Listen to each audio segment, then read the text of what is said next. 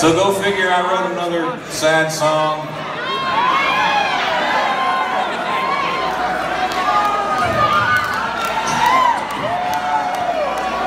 Damn right. The song is called I Lost It All.